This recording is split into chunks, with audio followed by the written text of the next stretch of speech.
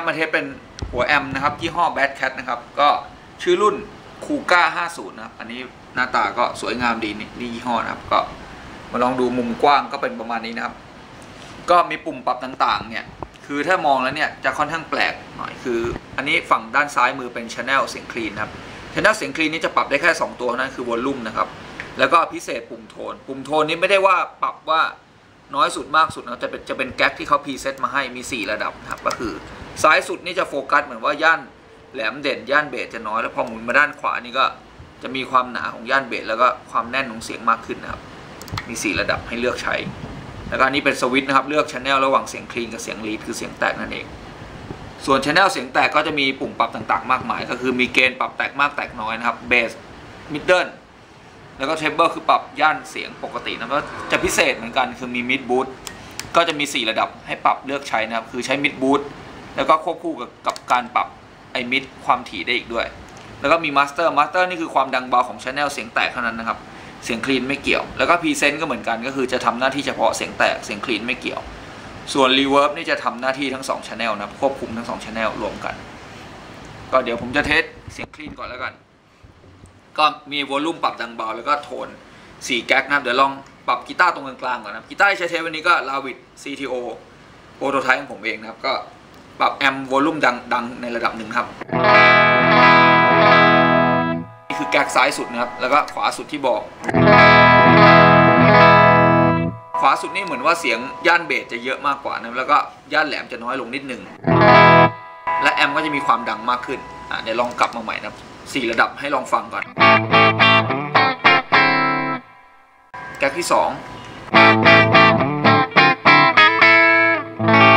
แก๊กที่สามนะครับ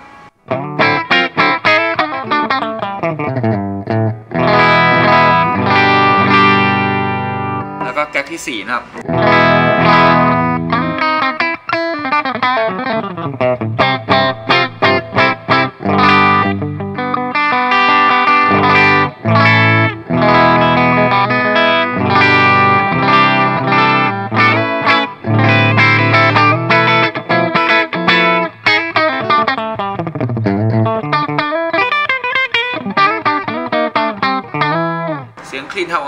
ดีนะมีความเด้งแล้วก็ความคมชัดนะครับย่านเบสก็ไม่ล้นจนเกินไปคือ EQ นี่ไม่ต้องปรับเลยคือปรับแค่นี้ก็เหลือๆแล้วครับเพราะ amp เขาเซตมาค่อนข้างโอเคแต่คราวนี้จะมาลองเช็คเรื่องไอ้ reverb แล้วกันนะครับ ก็เดี๋ยวผมจะเลื่อนมา reverb นะตอนนี้เปิดน้อยที่สุด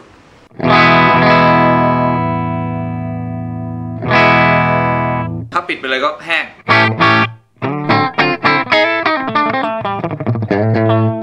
เปิดมาหน่อยนะครับ เท่าเดิม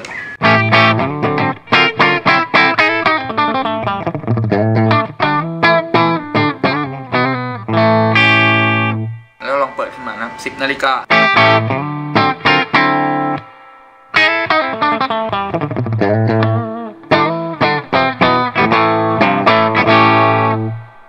เที่ยงนะครับรีเวิร์สส่วนตัวผมจะค่อนข้างชอบเสียงมันฟุ้งๆก้องๆกำลังดี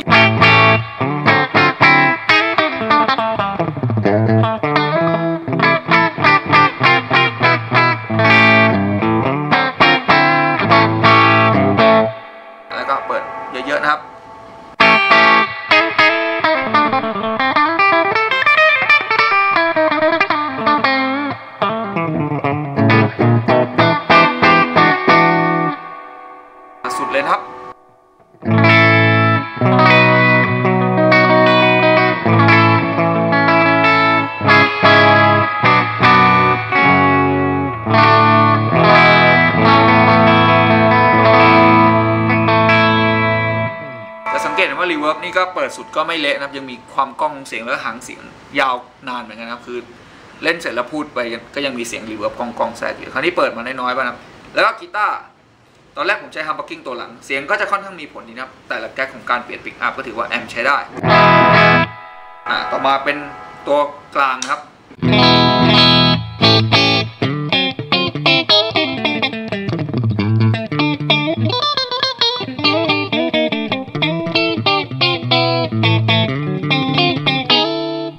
แล้วก็ตัวเน็กนะครับ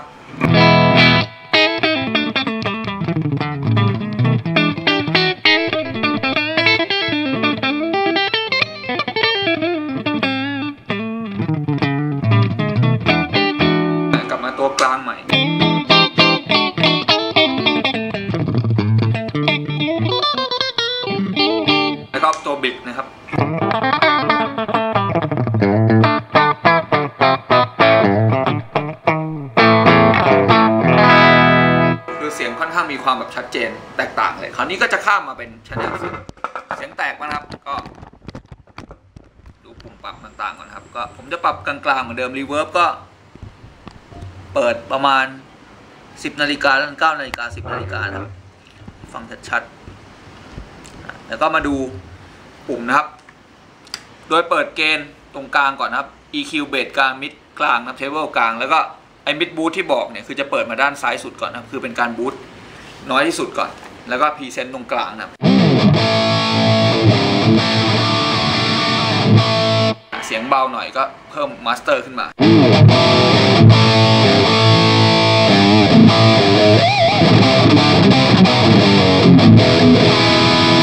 เสียงออกมาจะมีความแบบคมชัดนะครับ สายล่างๆนี่ก็จะมีความสว่างสว่างแต่ไม่ออกมาบาดหูแบบสไตล์ Marshall ที่กลางเด่นมาก แล้วก็ ย่านเบสเสียงมันจะออกมาตื้นๆนิดๆคือคล้ายๆเหมือนเมซ่านิดนิดนึงแต่ไม่ได้มากครับ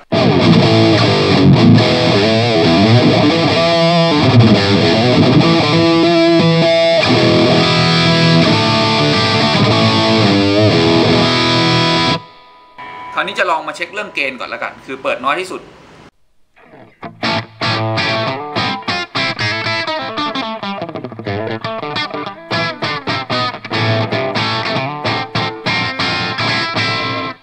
นมานะครับ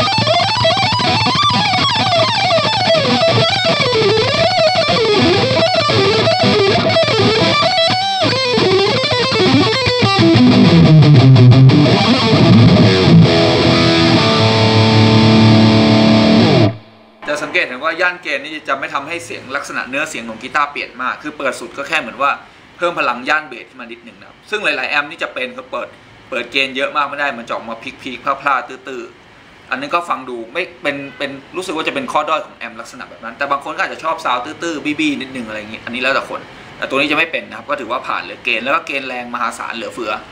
คือไม่ต้องใช้เอฟเฟกก้อนมา boost อีกทีหนึ่งเปิดแค่นี้ก็เหลือนะครับอ่าในคราวนี้ ก็จะมาลองเช็คเรื่องไอ้มิดบูทที่บอกนะครับคือตอนนี้คือซ้ายสุด มาแก๊กถัดแก๊กที่ 2 นะครับก็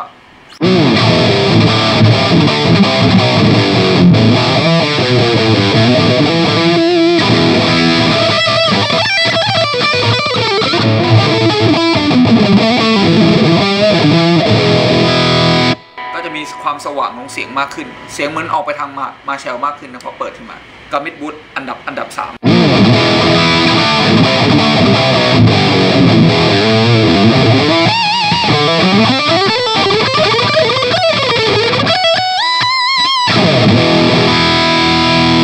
ก็เจ๋งดี ต่อมามิดบูทสุดท้ายเลยครับก็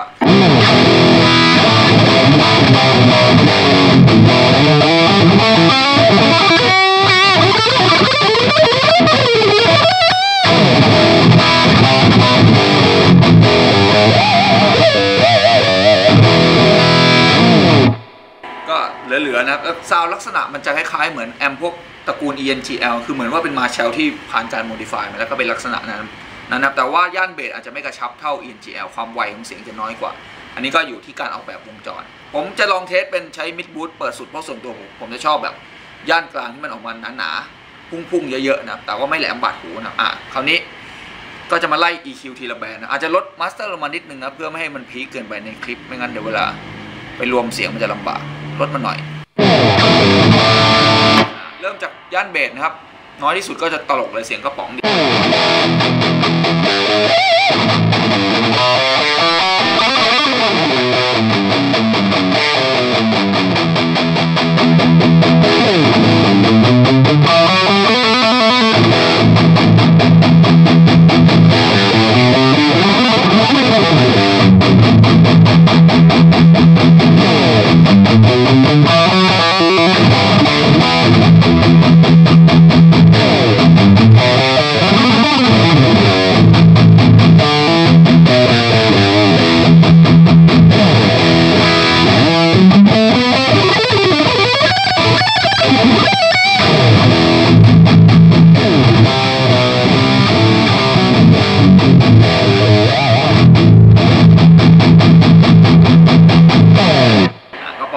ก็มีผลชัดเจนใช้ได้ ก็เบรดไม่ออกมาบวมจนเกินไป ต่อมาเป็นย่านมิเตอร์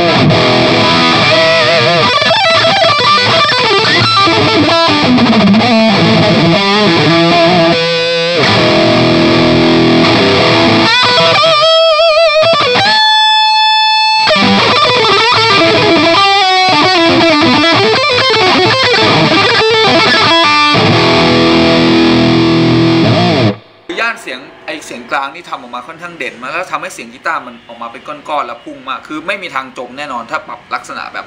กลางเยอะ amp ตัวนี้นี่เล่นกับวงนี้ไม่จมเหลือๆออกแนวพุ่งทะลวงทะลุทะลวงสูงสุดก็เวอร์ดี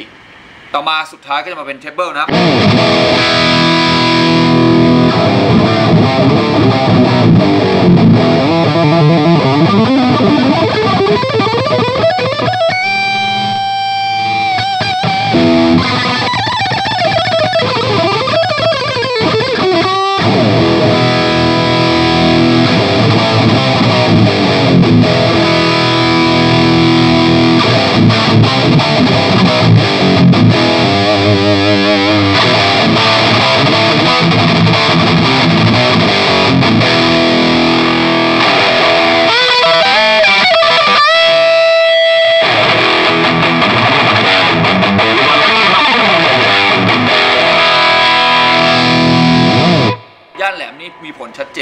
นนะปรับจนให้เสียงน่าเกลียดเละๆเทะๆนี่ก็ได้เลยคือเหมือนว่าแหลมจนไปบังย่านความถี่อื่นจนตลกเลยเลยก็ได้ คือมันค่อนข้างปรับได้หลากหลายจริงๆ สุดท้ายก็มาเป็นพรีเซนต์ก็คือย่านเสียงแหลมโดยรวมของแอมเพาภาพ power amp แต่จริงๆแล้วเนี่ยมันจะทำหน้าที่เฉพาะกับเสียงแตกอย่างเดียวนะครับ ก็เป็นวงจรที่แปลกดี ไม่มีเกี่ยวข้องกับเสียงคลีนอะลองดู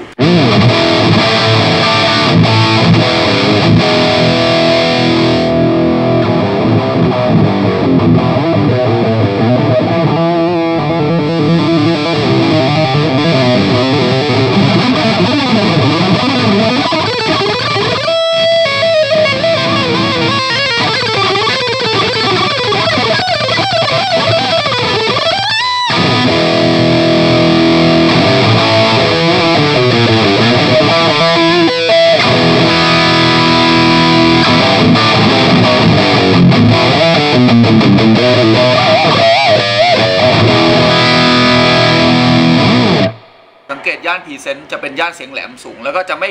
ไปบังความถี่อื่นๆของ amp เหมือนว่าทำให้มีความชัดความพุ่งมากขึ้น ซึ่งจะตรงกันข้ามกับไอ้ treble treble ตะกี้พอเล่นกันเยอะนี่ทำให้ย่านเสียงกลางเสียงเบสมันค่อนข้างประหลาดประหลาดๆไปเนี่ยก็ทำให้มีการปรับแต่งได้หลากหลาย เพราะ 2 อันนี้ลักษณะการปรับแต่งเสียงแหลมไม่เหมือนกัน ก็ทำให้หลากหลายดี รวมๆเป็น amp ที่จริงๆจริง ๆ ต้องยอมรับผมได้มาเป็นประมาณเกือบปีละต้องรู้สึกว่าคุ้มมากๆ คือเอาถ้าถ้าพูดถึงเรื่องเสียงไม่สนใจว่าจะต้องยี่ห้อนี้ made in อะไรอะไรพวกนี้นะครับ คือเอาแค่เรื่องเสียงไปเพียงกับวงจรลักษณะเสียงมันถือว่าดีมากมันก็เหมือนพวกแอมไฮเกนลักษณะแบบเยอรมันไฮเกนพวก ENGL พวกนี้ได้เลยลักษณะเดียวกัน เพียงแต่ราคาย่อมเยาวไทยขายแค่ 20,000 เอง ส่วนดูราคาตามเว็บเมืองนอกนี่บางที่ก็ขาย 30,000 กว่า บางที่ล่อไป 40,000 ก็ยังมีนะครับ ก็ถือว่าซื้อในประเทศไทยนี่เป็นอะไรที่คุ้มสุดๆ กับไอ้ Bad Cat Kuga 50 ตอนนี้จบแล้วครับ